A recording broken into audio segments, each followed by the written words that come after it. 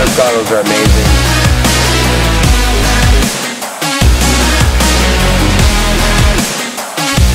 With a normal shoe, it's you have to wear it around.